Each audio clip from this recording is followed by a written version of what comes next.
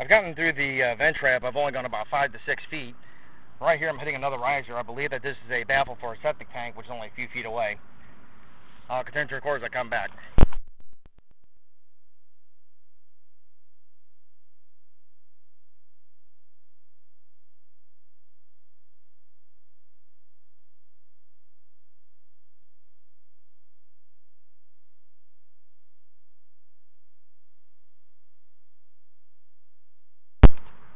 I'm now back out of the line.